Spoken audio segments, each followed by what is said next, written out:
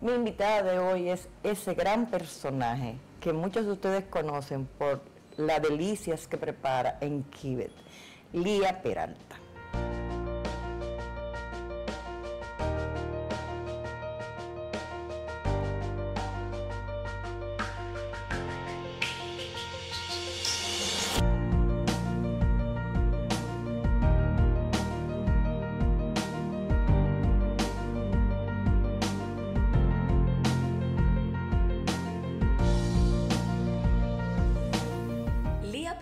Nació en Santiago y es la mayor de cuatro hermanos, en una familia que conserva la unión y los valores como su centro.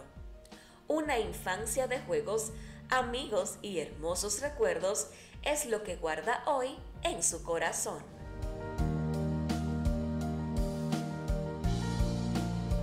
La verdad es que me siento feliz de poder estar en esta entrevista de hoy, porque es una mujer que admiro mucho porque a pesar de su juventud es lo que se llama una guerrera, guerrera de la vida, guerrera de todo y ha luchado mucho para conseguir lo que hasta hoy tiene, a pesar de ser tan joven.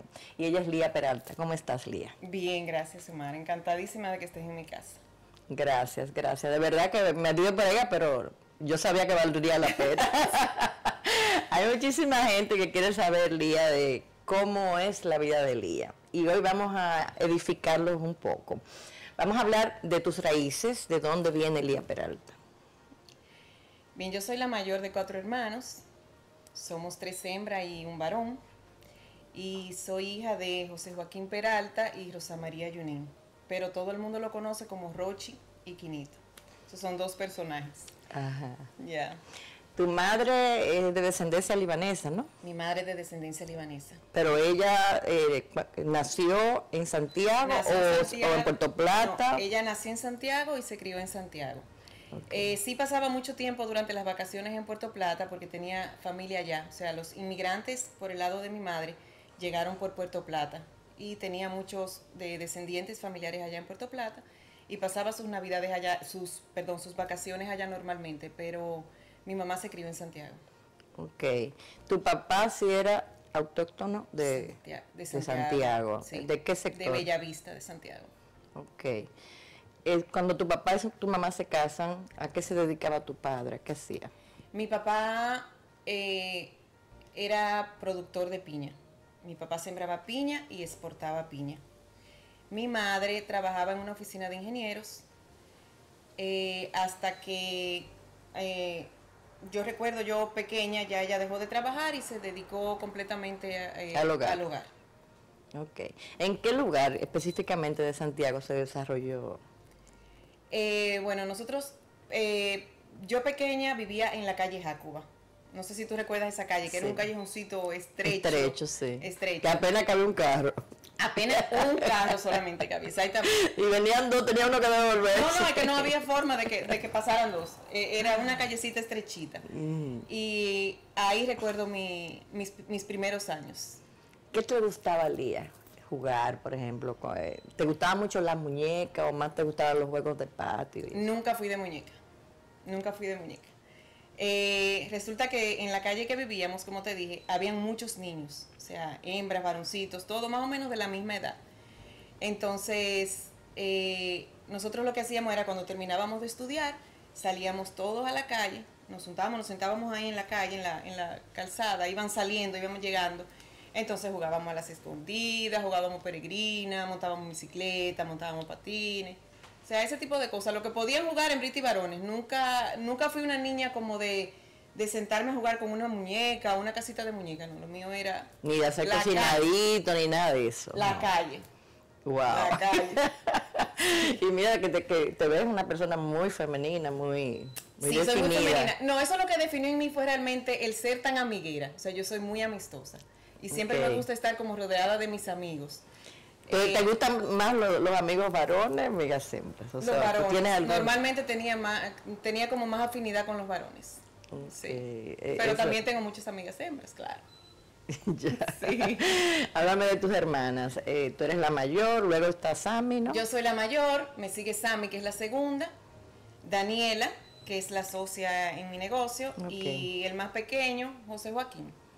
Eh, Sammy trabaja con su esposo, eh, no horario completo, también se dedica mucho a su casa y a sus días. Eh, Daniela, como te decía, es mi socia. Daniela trabaja y también tiene tres niños.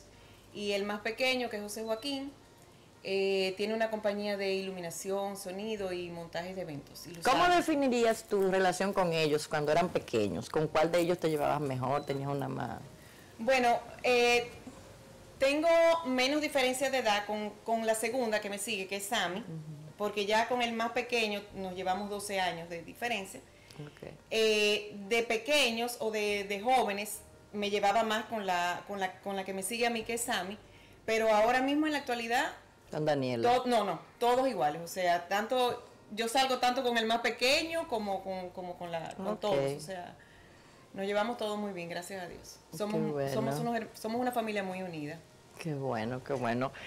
Háblame de tu papá, ¿cómo lo recuerdas en esa época? Tú de niña, como tú veías ese, esa persona que era, ¿cómo lo definirías? Un hombre sumamente trabajador, sumamente trabajador. Mi papá despertaba a las seis de la perdón, se iba a trabajar a las 6 de la mañana para, para la finca que estaba en Bellavista, que era donde sembraban la piña. Se iba a las 6 de la mañana, yo me acuerdo que él tenía un motor en ese tiempo. Se iba y llegaba a las 10 y 11 de la noche. Sí, siempre con la costumbre de llegar a comer al mediodía. O sea, nosotros siempre hemos comido en familia. Siempre, o sea, siempre comíamos todos. Él venía y comía y volvía y, se, iba. y siempre sumamente quemado del sol porque trabajaba, tú sabes, en, las tierras. Entonces, pero un hombre sumamente trabajador, honesto y cariñoso, amoroso.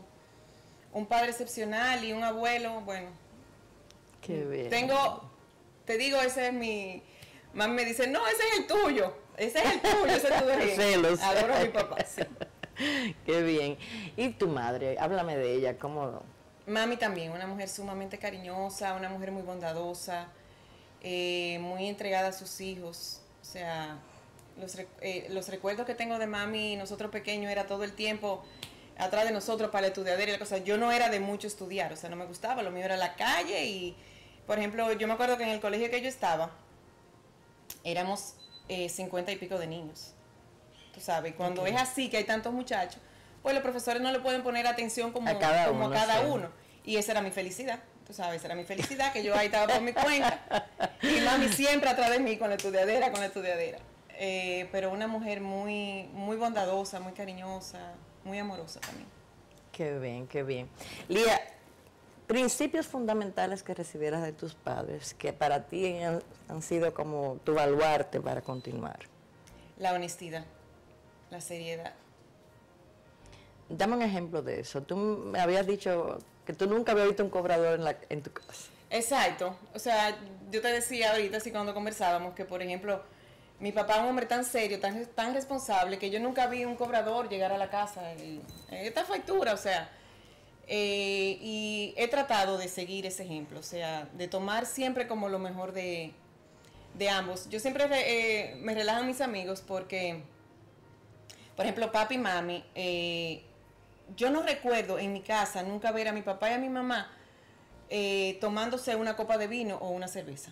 O sea, ellos no bebían. Y en mi casa no había como ese ambiente, esa cultura, esa cultura de, de tu ver a tus padres tomándose un traguito.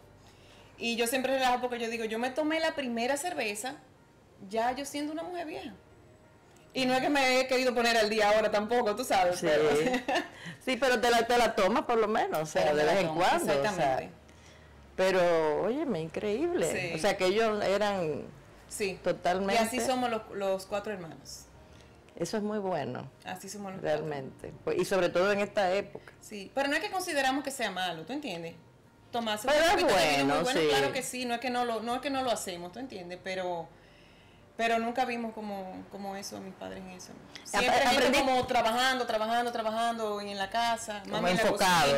Exactamente. Te iba a decir eso mismo. Aprendiste a cocinar porque tu mamá, yo sé que todo el mundo la elogia mucho porque cocina buenísimo, todo, sobre todo lo que es comida libanesa. Así es.